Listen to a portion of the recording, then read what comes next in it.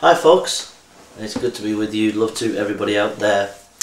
Uh, don't forget uh, my website, jasonburnspreacher.com. Um, my website uh, is a resource um, and uh, it costs about, it costs quite a bit of money to keep going each year. Uh, so please avail yourself of a free website where it gives you lots of resources. Uh, there's a page, if you go on the page and press, there'll be a long list, it comes down and there's about 100 pages and there's lots of books that you can download free and courses that you can do, there's lots of material there. And it looks like a, a big video fest on the front page but I've done that because I wanted you to introduce you to lots of good material straight away. So there's lots of uh, good people who, who, do Bible teaching on the first page, but also there's uh, preaching that I've done on the top and some of the debates that I've done as well. So I believe it's a good resource, and I believe if you get into that website, it will really edify you and it, it will really bless you. Uh, praise God and to His glory. Um, then you've got my Facebook. Facebook, I, I often put preachers on there that I like. Twitter from time to time is more apologetics. And um, yeah, so so those are some of the resources that, that will, I believe, will really help you to grow in your faith. And if you're inquiring about Christianity, they will really help you. Um, today I'm making a video uh, to say that I'm retiring from Speaker's Corner.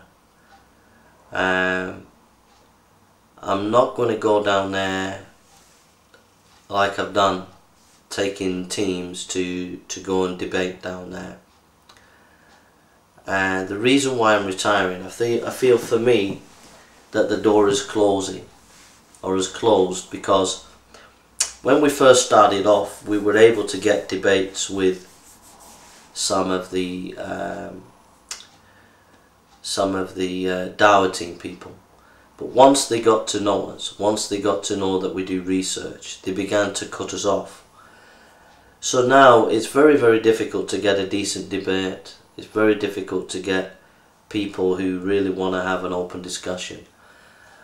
And now it's descended, there's a lot of things happened uh, in the year, over the year, where it's descended into people taking their issues from the internet and from their own personal life and they're taking it down into Hyde Park. And and it's become more like a Jeremy Kyle show where people are just shouting at each other um, screaming at each other accusing each other and causing a whole like load of storms of drama. And it doesn't look good and it's I think it's putting a lot of people off Hyde Park watching the videos at the moment and it's not something that I want to be associated with or want to get involved with. And for every decent discussion that you would get, you have to wade through three or four or five of these slanging, screaming matches.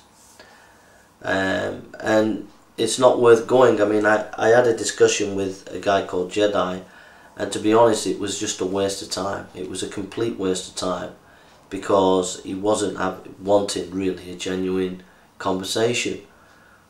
So I don't want to. I spend when I go down to Hyde Park. I, I do spend at least three days, often a couple of weeks, in in terms of time researching the topic that I want to talk about. So I'll, I'll spend maybe three full days studying the Gospels and the Quran and then I'll go down and I'll talk on on the Gospels or the topic that I want to talk about, and I, and I would have spent three full days making notes, but also I would have spent a couple of weeks in over the months in days researching as well, and I go down with all that research and information and. I find that people like Mansour or people like that, that, that they don't really want to engage and if they do engage, they they want to control the conversation where it means that you can't really get all the information that you've got out and really say what you want to say. So it makes it extremely difficult when they ignore you, extremely difficult when they decide to talk to you but they want to control the conversation. And then after all that, you've got to get through a lot of these slanging matches where people are screaming, shouting, people are saying uh, things, drama things, causing drama. Um, and it's got really, really bad, even to the point where people have been violent, people have been banned from the park. And to get through all that, just to get a few nuggets of conversation where you're not even allowed to have a fair one-on-one discussion where it's very controlled, where they control the narrative and the discussion. I just think it's not worth it, and it's just wasting my time. Um, so for me, I'm I'm going to retire from going to Hyde Park and debating people. I, Brother Mike wants to go down um, in January, and I might join him I said I would, but I'm not too sure if I might, if I will. But if I do join him, it will only be in the background just to give him moral support. It's not. I'll, not be going to debate people. I'll not be going to engage with people. It'll be just going to say hello to the Christians and to back anybody I go with, but not for me to get involved because I've decided that at the moment Hyde Park has just become it's just become a soap opera, really, of drama. And, and it's quite nasty drama where there's a lot of real nasty kind of characters that are, are gossiping about each other and bringing it to the park and sometimes it's been getting violent and I don't think it's fair on the police. The police have got better things to do and I don't think it's fair on those who genuinely want to preach there, genuinely want to discuss there. And I think there's a, a small minority of people that are spoiling it for everybody else, which is a shame because Hyde Park is, is a very precious institution. And I would love to maintain that institution, but I, I can't be getting involved with this kind of nonsense really. So. So I've really enjoyed my time at Hyde Park. I really love the place. I really appreciate the people. Uh, I've had some really uh, interesting debates and discussions. Uh, I love the Muslim people there. I love the Christian people there. Um, but I can't achieve much when I'm putting all the hours in and, and to study and that, that research is not being allowed to get out and, and discuss. And I don't want to be pushing myself or uh, trying to get attention to the Dawah team. If they don't, Dawah teams, if they don't want to discuss, then fine. Let's leave it at that. So uh, I'll be sad to leave. Uh, I'm frustrated because uh, I do do a lot of research. I, I, I have a degree in theology, pastoral studies. It's a, it was a four year degree. I've studied at two A uh, two MA levels uh, in postmodern philosophy and Islam and other religions. So I've studied at MA level, um, and I've been in academic theology, meaning I've been in theological institutions for at least ten maybe a, maybe a lot longer than that. So I have a vast experience in studying academically, theology, and other religions. But unfortunately, uh, the Dawah teams don't want to engage with that knowledge and they don't want to engage with that research. So um, I got a phone call from a gentleman who um, is a friend of um, Ali. And Shabir Ali was to be coming to the UK apparently. and the gentleman contacted me and, and said, would you be interested in dialoguing with Shabir Ali? Now, Shabir Ali is a, a well-known um, Muslim apologist. He's, he's probably one of the best Muslim apologists around. And, and I was not able to debate because I was going to Ghana.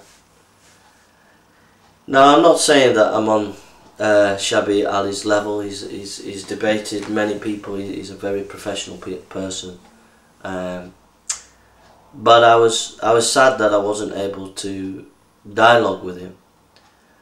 Um, so me and Mike have decided that we're going to be writing to uh, or sending emails to Muslim student councils around the UK at universities and uh, asking if they would like us to come and dialogue and debate and I'm happy uh, to debate uh, Adnan Rashid, Mohammed Hijab, um, Mansour, Hamza.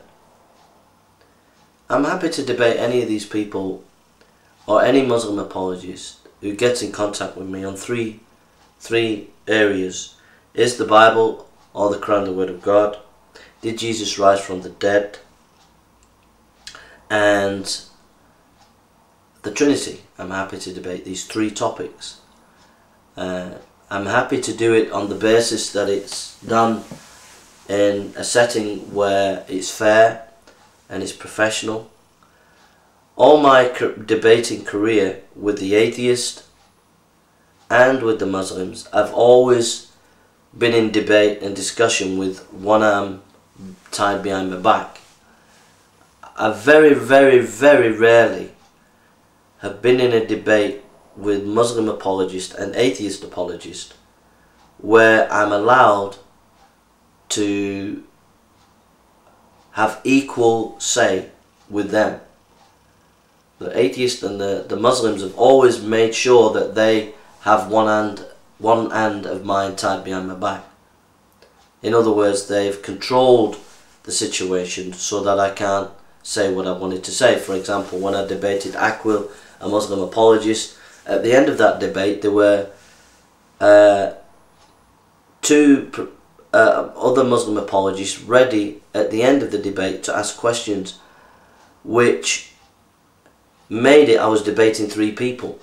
That's just one example of where they put one hand tied behind my back. Another example is I debated with Mike, uh, Mansour and Abbas and they wouldn't allow me to say equally in that discussion. They always kept control of that conversation. So for me, I'm out of the scene of Hyde Park. I will not be coming into debate in the UK um, unless I'm invited, unless student bodies invite me, unless Shabir Ali or Hamza or uh, Muhammad Hijab or some Muslim apologist invites me and that the debate setting is done in a professional way in a, in a church or in a mosque or in a hall where it, it, it, the it's agreed to the setting and people conduct themselves in a professional and fair way. And at the end of it that we're friends and, and that we build friendships with each other and it's done in a, in a fair amicable way. Then I'm always open to any Muslim apologist or any atheist apologist uh, to debate uh, in the UK barring that uh, for me I spend so many hours uh, researching, so many hours studying. I've done that with atheism. I've written a book on atheism. I've not had any real response from the atheist community. The book that I wrote uh, demolishes atheism. Uh, it was written on Sam Harris. I've not had any comeback from that. I've written a number of other books on Islam. I've not had any comeback from Muslim apologists. Basically, uh, my work's ignored, and that's okay. But I'm not going to force myself on people.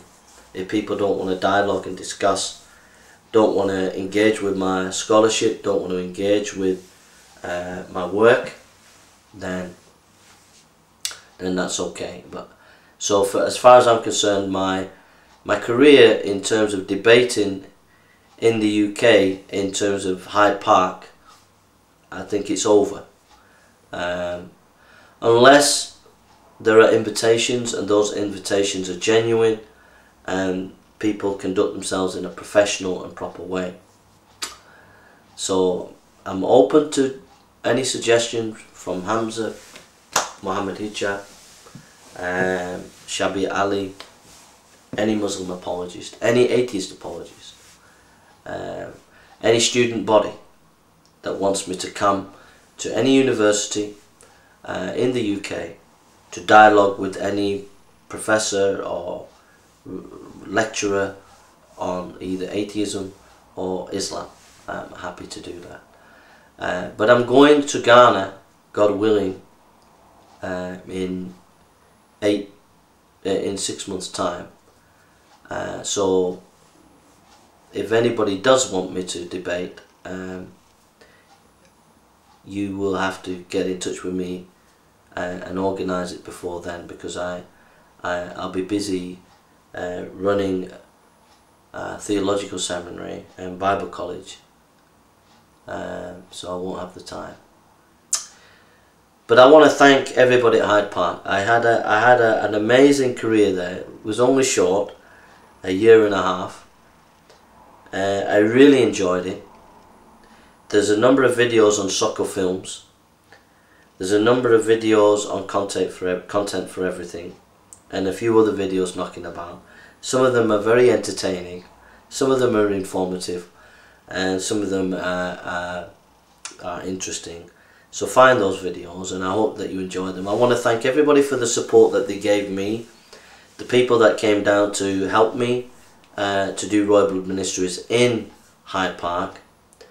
I want to thank the Christians there that gave a lot of support, uh, especially DCCI and especially Socko Films who gave uh, a lot of support when I was down there. I want to thank all the people that came down with me, Kieran, Mike and others, uh, the Welsh guys and other guys that people that came down with me to give me support at Hyde Park. I couldn't have done that without you.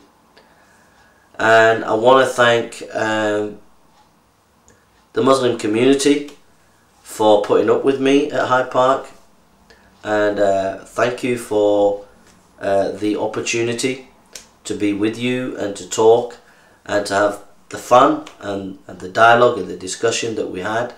Uh, I really love you people and I really appreciate uh, that you that you never shut me down ultimately you did let me come to Hyde Park you did let me uh, do my stuff even though you wouldn't engage with me your Dawah teams wouldn't engage with me properly uh, but as a Muslim community as a whole, uh, you allowed me to do my stuff at Hyde Park. So I appreciate that and I thank you for that. And uh, I just wish everybody the best. I wish DCCI the best. I wish Bob the Builder and Socko Films. I'm gonna get. I'm gonna shed a tear in a minute. I got. I, I wish Socko Films the best. I wish um, Bob the Builder, DCCI, and a number of the street preachers there that are preaching uh, that go there faithfully every week. I want to wish you the best, and uh, that's all I have to say really. Um, in Haggai chapter 1, it talks about Zerubbabel, and he says, I'm with you. The Lord says He's with you, and I just want to say that those who are going down to Hyde Park who feel still the calling to go, then I wish you all the best and I'll be praying for you. And I hope that shortly this wave of uh, emotional nonsense that's going on at Hyde Park. I hope that it dies down and people can get on with the rational discussion and debate that and, and preaching that Hyde Park was has been and is famous for. Okay, God bless you and love to everybody. God bless.